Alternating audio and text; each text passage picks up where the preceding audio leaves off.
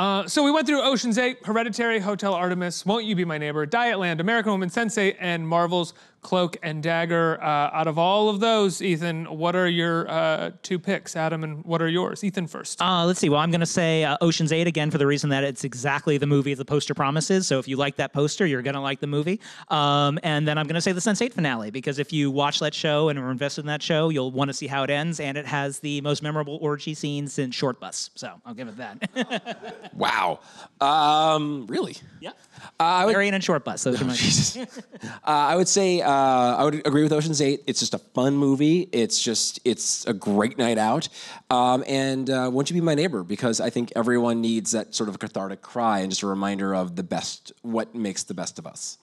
I'm gonna say uh, Hereditary because I like scary movies and it's pretty scary and it's a well done horror movie, which we get uh, very few of, even though we're getting more and more. And I'm gonna cheat and I'm gonna say an episode of Parts Unknown or No Reservations and uh, pour one out for Anthony Bourdain because he's a he's a hero and an icon and we lost him today and that's uh, quite sad.